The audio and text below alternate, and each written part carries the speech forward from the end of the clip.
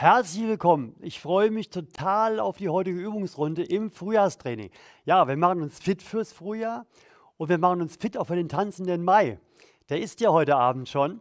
Unser Ziel ist ja sowieso schmerzfrei und beweglich, immer mehr. Je älter wir werden, umso mehr.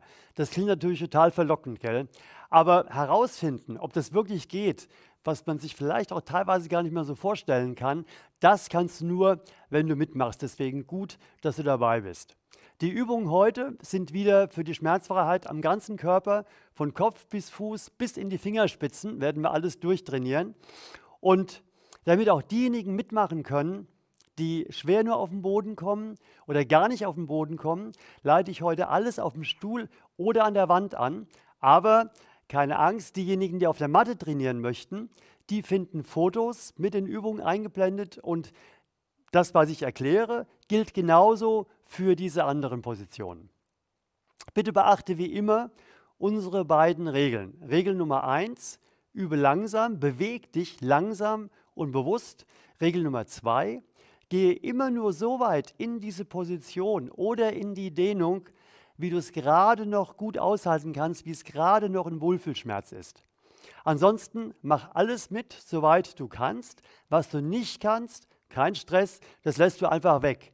Es könnte zum Beispiel sein, dieses Gegenspann, dass du das nicht so richtig einschätzen kannst, ja, dann lass einfach weg. Und während wir das weitermachen, übst du einfach weiter in die Dehnung zu gehen. Wenn du irgendetwas noch nicht hinbekommst, ist egal. Versuche immer, weil jeder Versuch wird vom Körper als kleines Training gewertet, sich wieder fitter zu machen, sich wieder umzubauen. Das wollen wir ja. Und jetzt lassen Sie aber loslegen und Spaß haben. Ja, ich sitze ja schon auf dem Stuhl.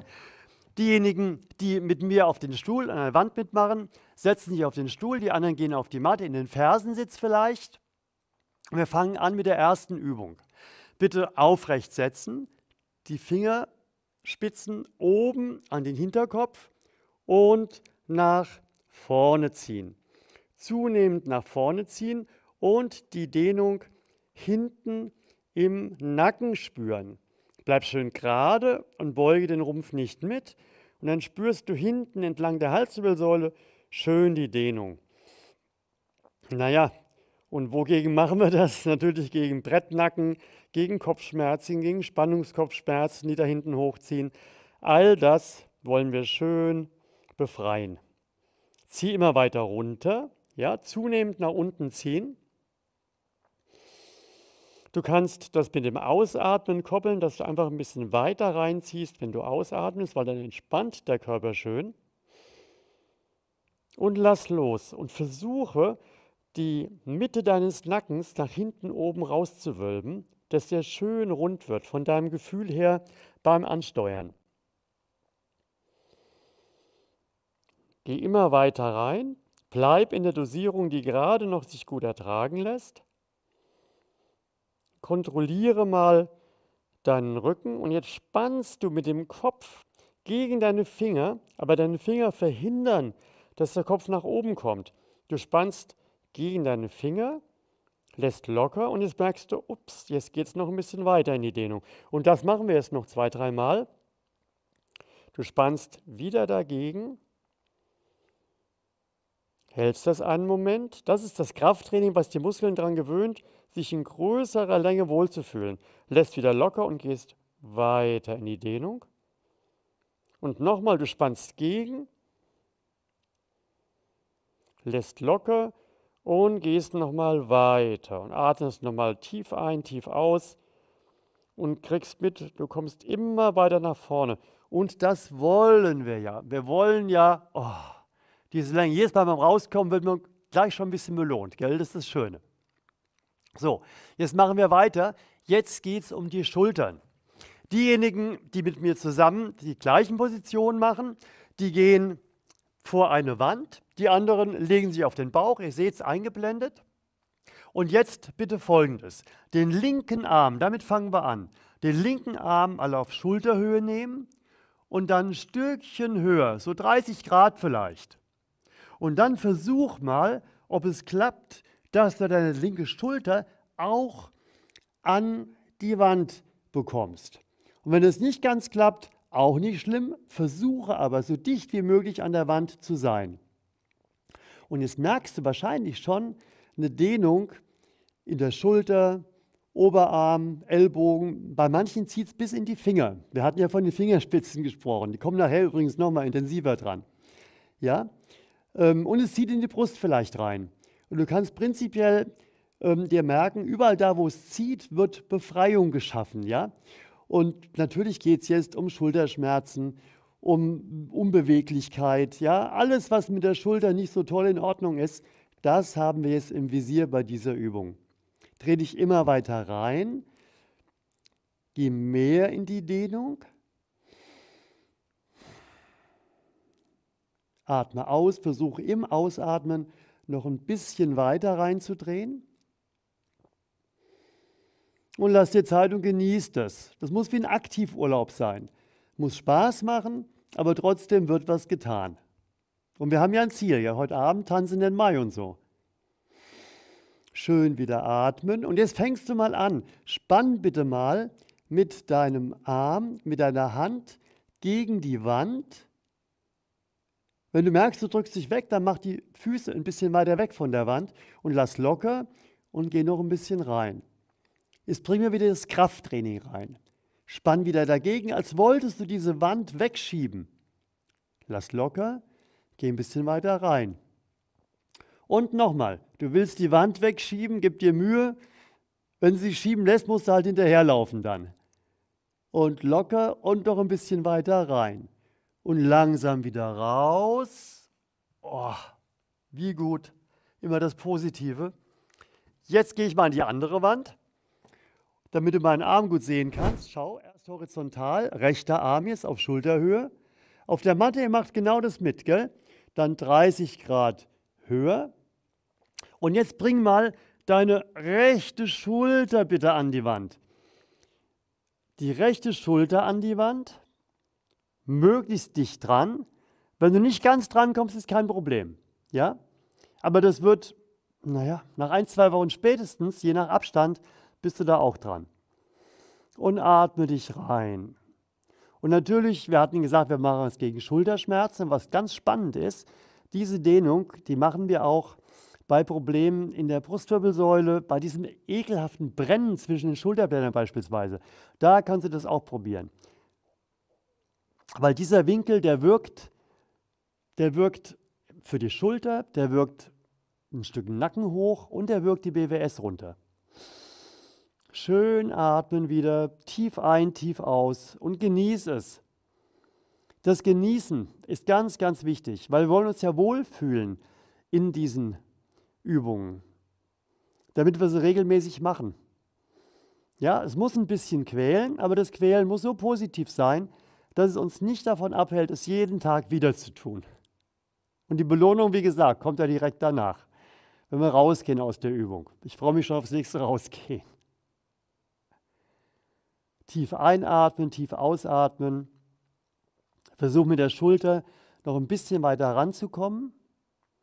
Und jetzt drück auch mal hier mit dem rechten Arm, mit der Hand, mit dem Unterarm gegen die Wand und schieb die Wand weg.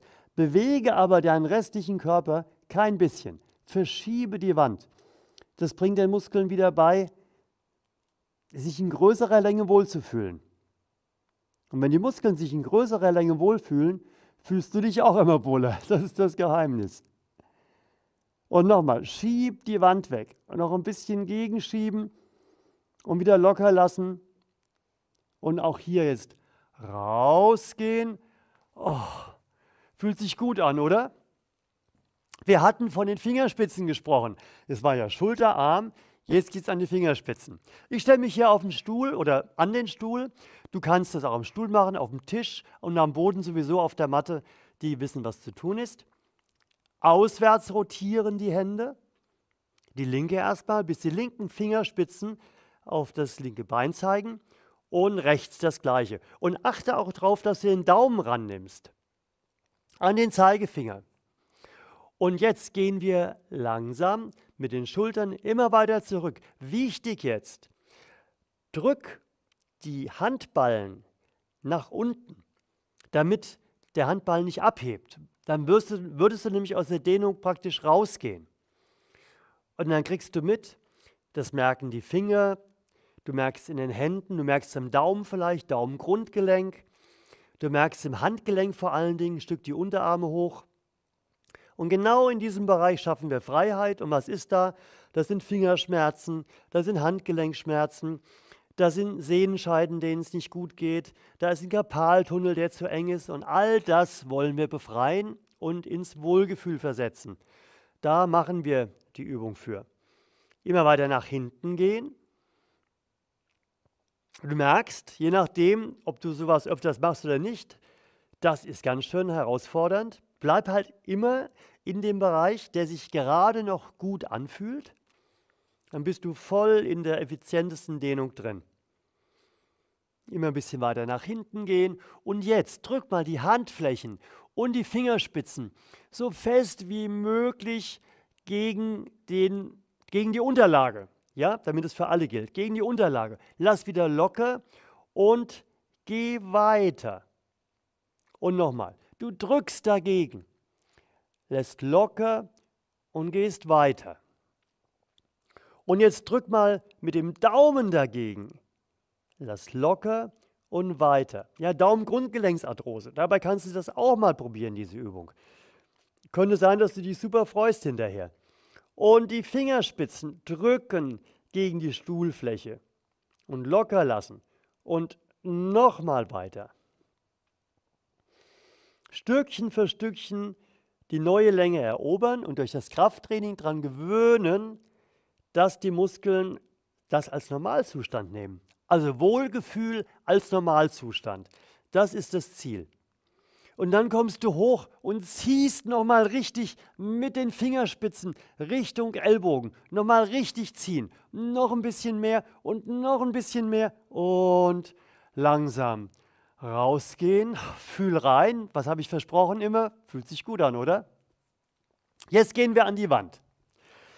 Jetzt gehen wir an die Wand. Ganz, ganz wichtige Übung, weil jetzt geht es darum, dass wir das Sitzen ausgleichen. Zieh den Bauchnabel ein. Bring die Leisten nach vorne und geh mit beiden Händen so locker gegen die Wand und erstmal voll darauf konzentrieren, Bauchnabel einziehen, Leisten nach vorne. Das darf in den oberen Oberschenkeln ziehen. Das darf in den Hüften ziehen, in der Leiste.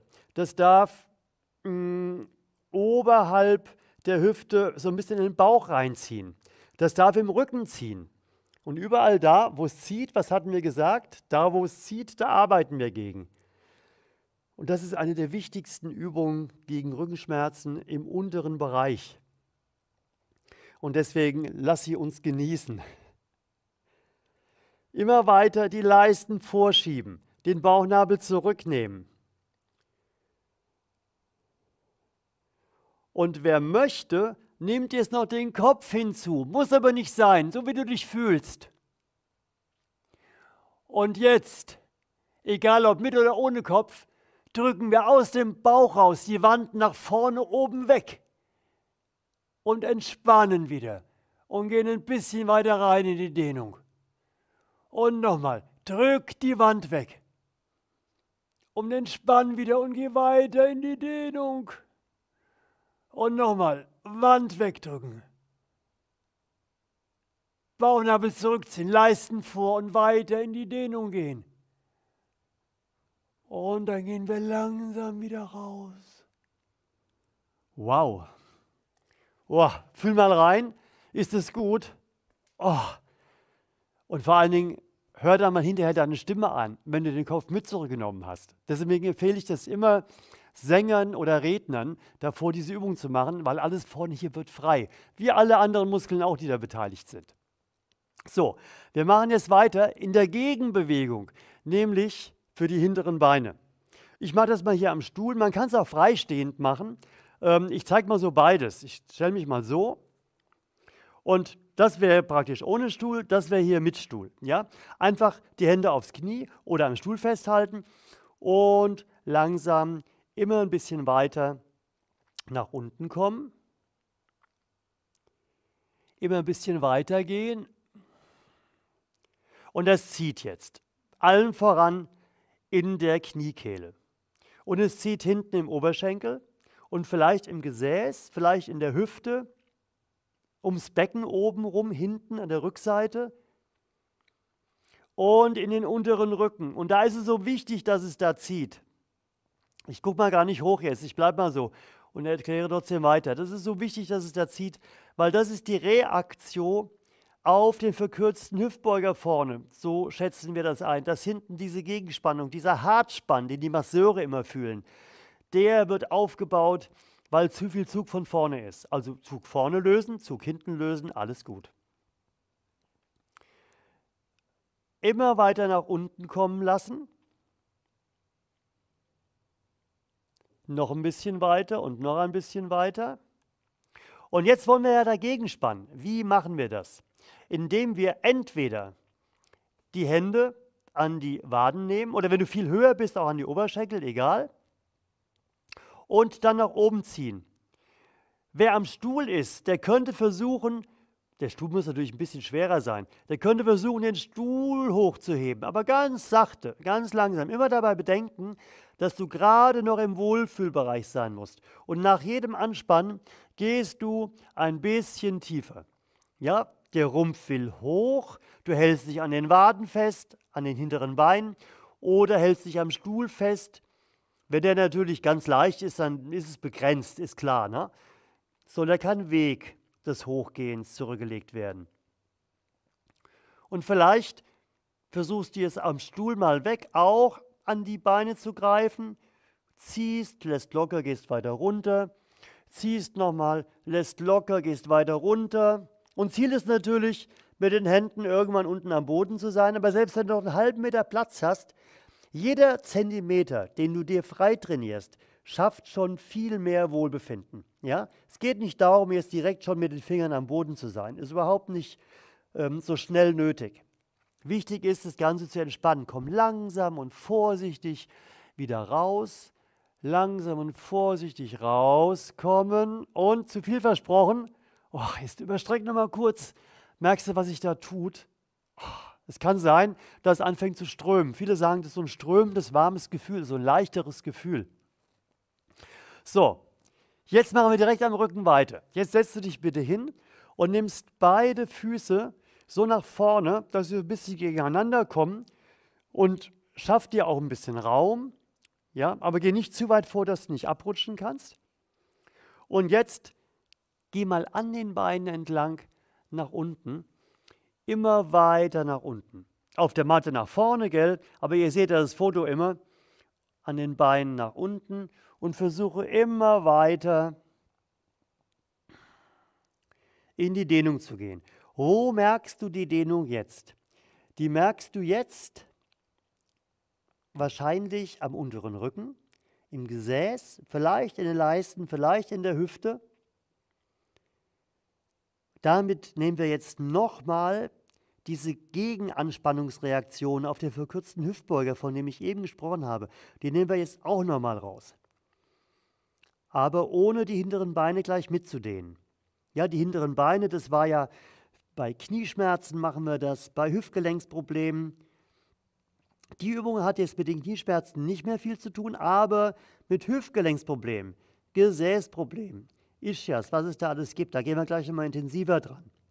ISG und die ganzen Blockaden, die sich da einstellen. So, und jetzt auch hier nochmal versuchen, nach oben zu ziehen mit dem Rumpf. Der Rumpf versucht nach oben zu ziehen, du hältst dich aber fest. Und egal wo du bist, auch wenn du viel höher bist als ich oder so, völlig egal, üb für dich und jeder Millimeter, den du Freiraum schaffst, wirkt sich in Wohlgefühl aus. Und das wollen wir ja. Wie gesagt, beschwingt in den Mai tanzen, gell? Und nochmal, bitte schreibt auch mal Kommentare, wie euer Tanz in den Mai war. Das würde mich interessieren. Und wieder nach oben ziehen mit dem Rumpf. Nach oben ziehen, locker lassen und weiter runter. Und nochmal, du ziehst nach oben, lässt locker und gehst weiter runter und dann ganz, ganz langsam und gemächlich wieder raus und einfach nur oh, genießen. Genießen. Rechne hoch, was passiert, wenn du das täglich machst. Ja? So, jetzt geht es ums Gesäß. Und zwar, jetzt nehmen wir das linke Bein mal so nach vorne, okay? Und jetzt versuch mal, deinen rechten Fuß da unten drauf zu legen. Das wird bei den meisten wahrscheinlich gehen, schätze ich, ja? Und jetzt versuch mal höher zu rutschen. Vielleicht hört es da schon auf. Wenn es irgendwann aufhört und es nicht weitergeht, dann bleibe einfach da, gemäß dem, was wir vorhin gesagt haben. Wer es schafft, geht übers Knie. Und da ist schon mal so eine kleine Hürde genommen, ja? Und wenn du übers Knie gehst, aber nur dann, dann kannst du dein Bein ein bisschen beugen.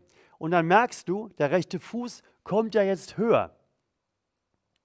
Und noch höher und noch ein bisschen. Dann merkst du, oh, das zieht ja ins rechte Gesäß freudigerweise, freu dich drüber, ja? Weil, wenn es ins rechte Gesäß zieht, arbeiten wir am rechten Gesäß. Und jetzt geht es wirklich um ISG, um diese Blockaden da hinten drin.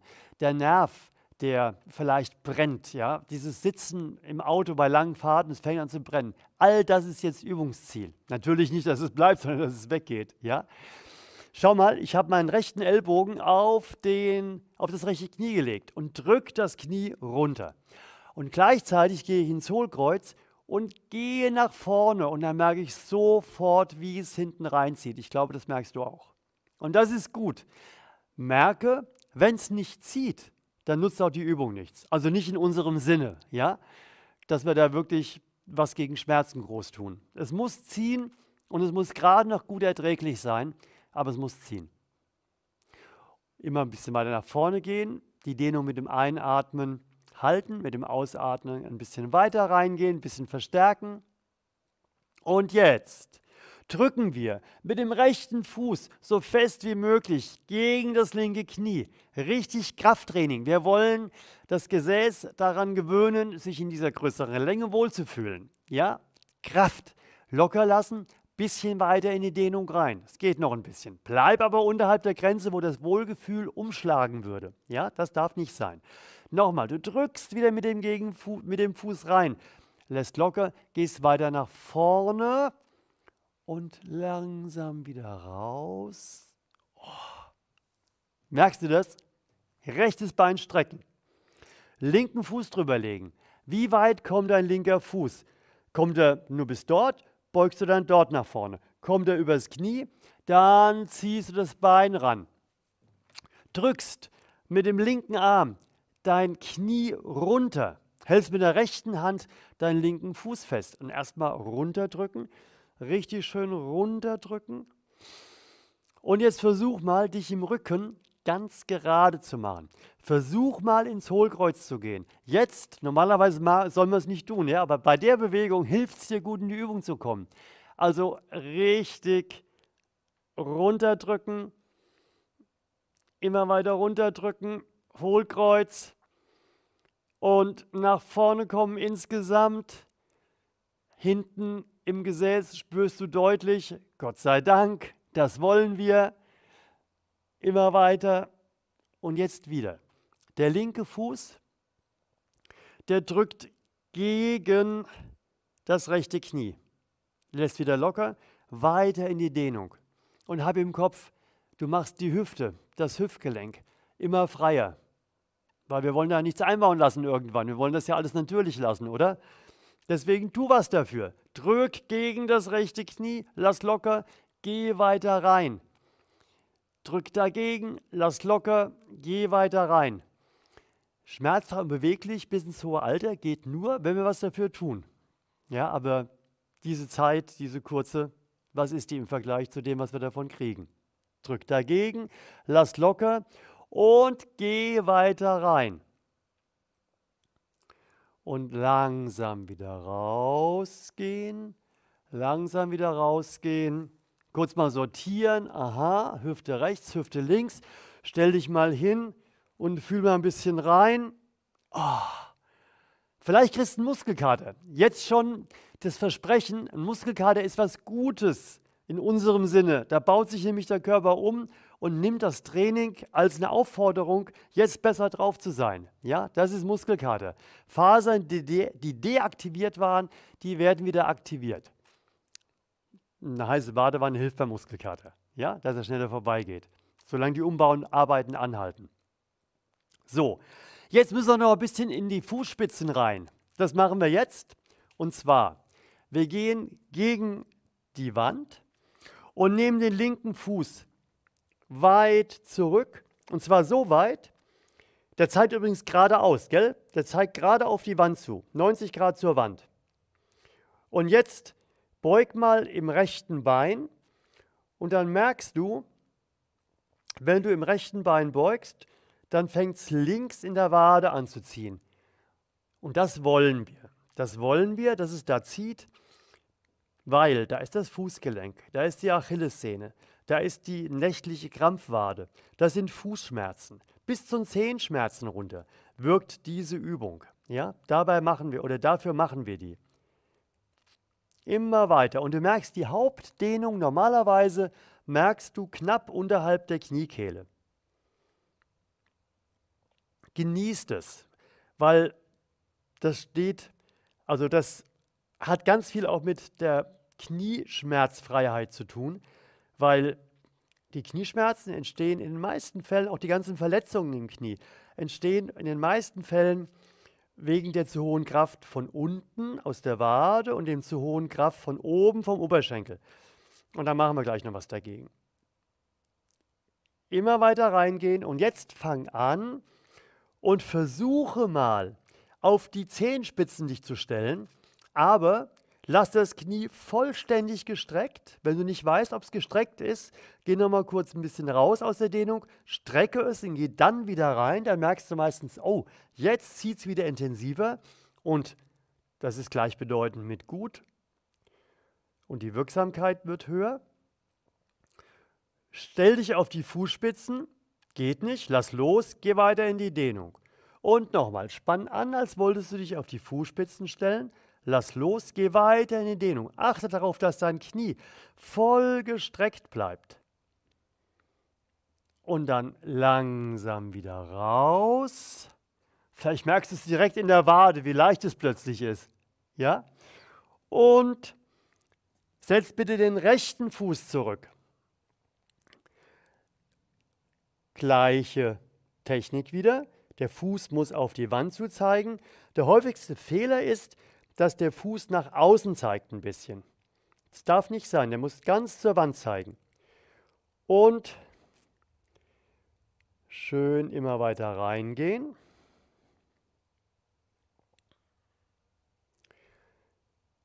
Dehnung auslösen. Es zieht wieder in der oberen Wade, vielleicht in der Achillessehne.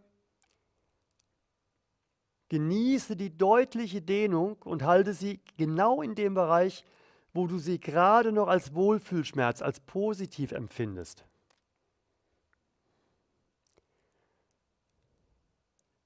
Schön immer weiter reindehnen. Und jetzt versuchst du wieder auf die Zehenspitzen zu kommen. Lässt dabei aber dein Knie gestreckt. Lass locker und geh weiter ins linke Knie, in, das, in die Beugung, damit die Dehnung größer wird. Achte darauf, dass das rechte Knie ganz gestreckt ist. Das ist mit am schwierigsten bei dieser Übung, dass das Knie wirklich gestreckt bleibt, weil nur dann profitierst du total davon, also am meisten davon. Und nochmal, versuch auf die Zehenspitzen zu kommen, lass locker, geh weiter. Und noch ein letztes Mal, versuch auf die Zehenspitzen zu kommen, lass locker und geh nochmal weiter. Und komm ganz langsam wieder raus. Fühl in deine Waden, fühl in deine Knie. Oh, so, letzte Übung. Schon wieder rum. Das geht so schnell. Ich gehe jetzt in den Fersensitz. Wer in den Fersensitz kommt, der macht das auch. Wer nicht in den Fersensitz kommt, der stellt bitte die Füße auf, macht die Hände ans Gesäß, wie es auf dem Foto zu sehen ist, und überstreckt immer mehr. Jetzt können sich beide Gruppen so ein bisschen aussuchen, was sie machen wollen. Es kann sein, dass die Gruppe, die es die ganze Zeit mit mir geübt hat, am Stuhl an der Wand, dass die jetzt eher in Kniestand gehen. Egal wo, jetzt beginnt die Dehnung. Wir gehen mit dem Becken immer weiter nach hinten Oder, habe ich vergessen zu sagen, Entschuldigung, wer noch nicht ganz unten ist, der kann durchaus auch erstmal hier bleiben und sich dann runterarbeiten. Wer schon unten ist, nimmt das Becken mit und dann gehen wir immer weiter nach hinten. Und wenn du im Kniestand bist, dann überstrecke immer weiter nach hinten. Und die Handflächen sind am Gesäß. Handflächen am Gesäß und immer weiter nach hinten überstrecken. Immer weiter nach hinten gehen und genießen. In beiden Positionen genießen. Wer möchte im Kniestand, kann auch den Kopf überstrecken noch.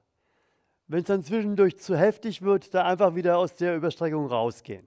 Ja? Immer weiter nach unten kommen. Noch ein bisschen weiter. Und auch im Kniestand immer weiter reinarbeiten.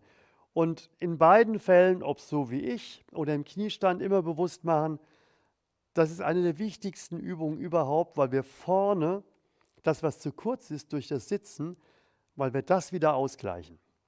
Wer kann, geht vielleicht sogar auf die Ellbogen. Übrigens, das muss nicht sein, ja? Ich will euch nur zeigen, dass es auch gehen könnte. Vielleicht sind ja einige sogar noch beweglicher als ich, die wissen das schon, aber die anderen, denen das erstmal so, oh, da geht jetzt nur nach hinten, ja? Das ist einfach nur Training, einfach nur regelmäßiges Üben. Jeden Tag ein bisschen mehr, da ist nach zwei, drei Wochen rein von der Körperlichkeit noch nicht viel passiert. Aber mach das mal ein halbes Jahr, mal ein Dreivierteljahr, ja? Mein Gott, dann erkennst du dich nicht wieder so ungefähr. Und wer es übertreiben möchte, der geht mal ganz nach unten, ruht sich mal kurz aus, im Kniestand ganz weit nach hinten geht, jetzt so weit wie es geht und dann wieder hochkommen. Oh, und genießen. Schon ist es wieder rum. Danke fürs Mitmachen. Super, dass du dabei warst.